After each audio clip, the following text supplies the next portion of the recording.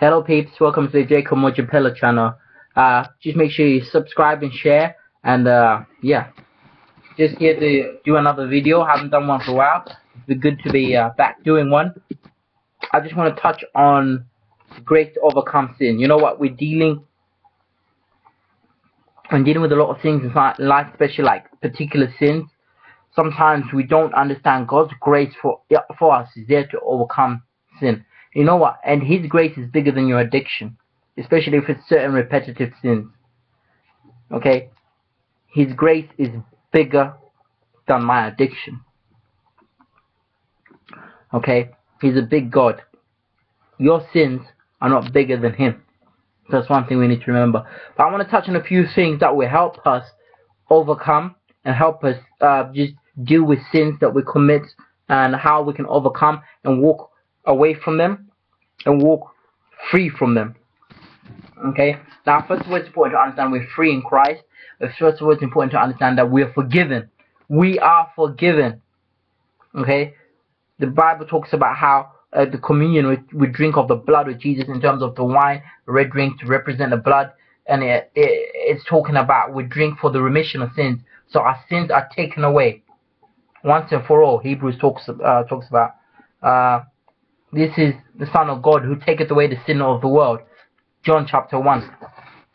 He takes away our sins. He took it away. He forgives us and he taketh away the sin. And the cross and the resurrection was uh, uh, uh, the, the, the completion of that. Alright, so I just want to touch on a few scriptures that will help us overcome sin.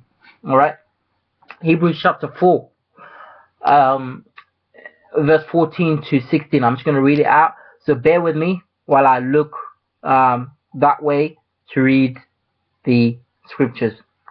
Um, seeing that we have a high priest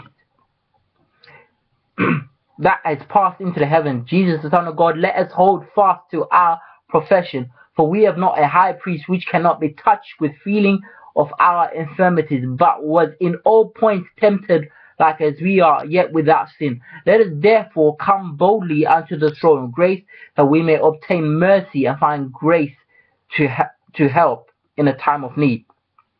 Okay, that was the King James version. Okay, let's start. Let's just go back and see uh, verse 14. And seeing that we have a great high priest, what does the high priest do? In Leviticus, the high priest presents a sacrifice, presents an offering uh, to to to, um, to God of, for the people of Israel so that their sins may be forgiven or God can look, overlook their sins or not look at their sins or not judge them with their wrath, with his wrath. Okay? The same thing. Jesus Christ, when he was at the cross, he laid his life down to become a sacrifice. And not just that, he actually went into heaven and went and presented himself as a sacrifice as a high priest yeah. So the high priest presenting a sacrifice. What was the sacrifice? He himself, his blood, his blood, which is shed for the remission of sins.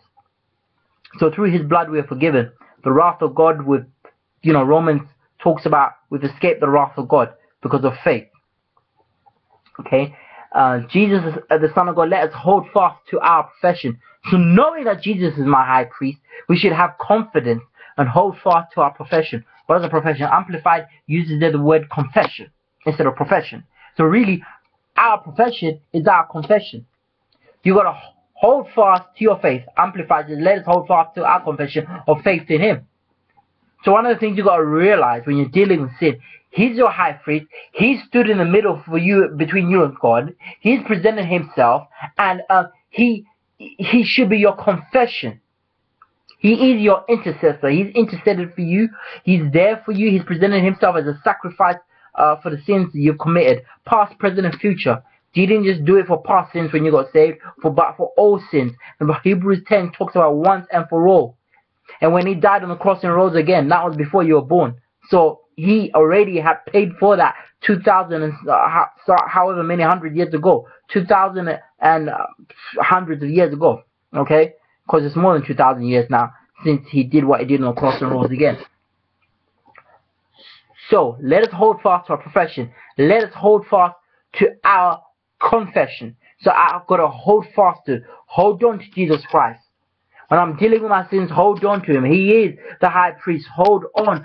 By how? By confessing you are Lord. God, you confessing Jesus Christ. Just hold on to our confession, confessing the fact that we are righteous in Him. Confessing that He is God. Confessing that He is Jesus Christ. Not running away because we have sinned, but recognizing Him even in that time when we were committed sin.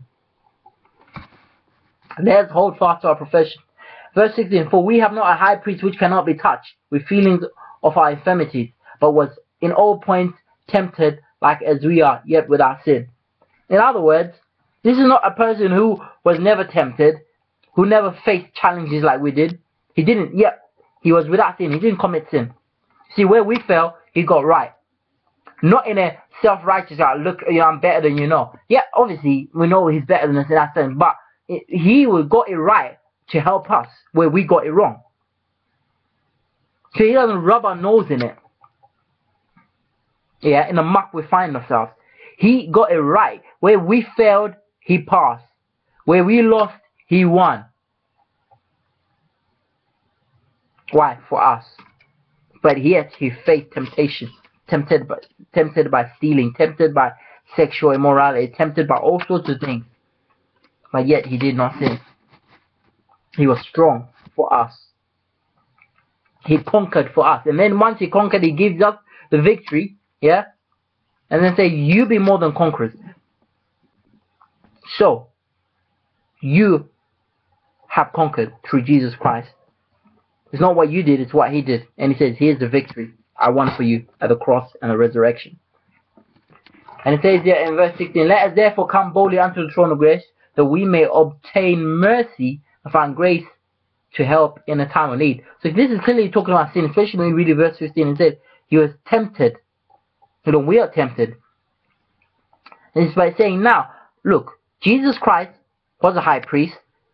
Let us hold on to our confession, in, to our faith in Him, which we do through confession because we believe, we speak. Second Corinthians chapter 4, I think verse 13. Yeah? For we have not a high priest cannot be touched. Let's come therefore boldly to the throne of grace. So you, because you have a high priest who is presenting himself for you and me, I can come boldly to the throne of grace.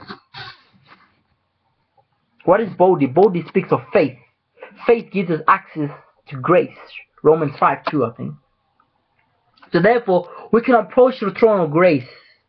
No, it is not the throne of God's anger. It's not the throne of God's wrath. It's the throne of grace. He specifically named his throne the grace throne. So, we can approach boldly by, by faith, not based on what we've done, but what he did. That we may obtain mercy and find grace and help in a time of need. We may obtain mercy and find help in a time of need. So we're not running away when we've committed sin. No, we are approaching throne of grace. How? By faith. I believe. I'm confessing.